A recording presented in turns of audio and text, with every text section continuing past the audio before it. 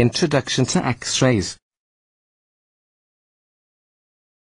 What do these words mean?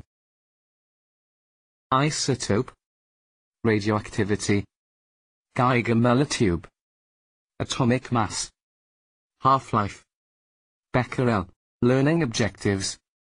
State qualitatively the differential absorption of X-rays by air, fat, other soft tissues and bone and the appearance of X-rays on film after passing through these media. Explain techniques for improving quality of X-ray images, use of a grid, narrow beam, filtration. Describe how the use of image intensifying screens reduces dose rates. Frequency between 1017 to 1020 Hz. Why are they useful? Fractures breast cancer lung cancer dental. Cardiac unit. Airports. Therapeutic. How do they work?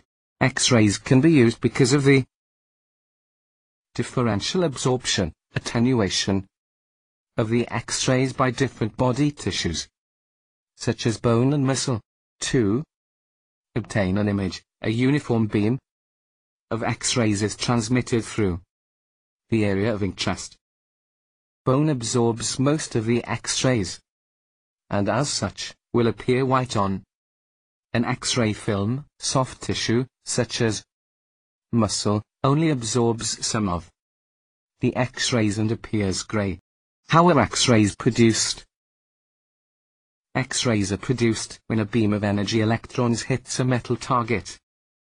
When electrons collide they lose K. Some of this energy is converted to X-rays but most is converted to heat. X-ray beam.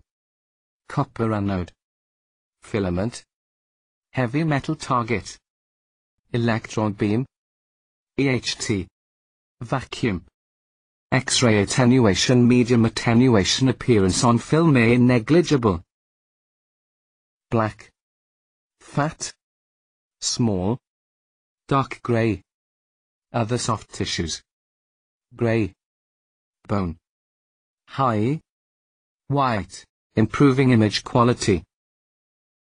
The radiographer aims to produce sharp images by increasing resolution and reducing blur good contrast by distinguishing clearly between different body materials. They can do this by use of a grid, narrow beam, filtration. Use of a grid. A grid of lead strips reduces the blurring of images caused by scattered radiation. If two crossed grids are used at right angles to each other, almost completely eliminate unwanted scatter. To prevent the grid lines appearing on the image the grid is slowly moved across the film during exposure.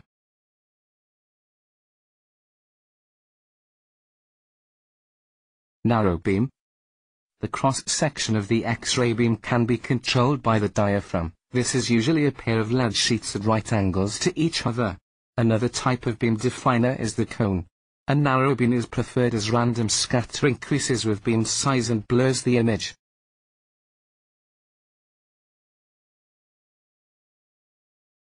Filtration. Filters reduce unwanted low-energy scatter. This increases the sharpness of the image and the contrast. Intensifying screens. About 97% of the X-rays falling on a photographic film pass straight through without any interaction. The film alone is not a very sensitive method for detecting X-rays. X-rays from patient. Cassette front, plastic. Front intensifying screen. Double-sided film.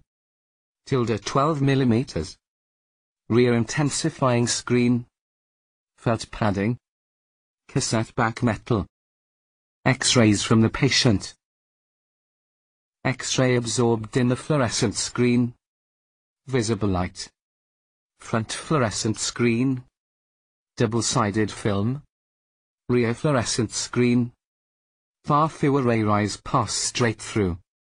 Direct film blackening by X-rays. Indirect film blackening by light.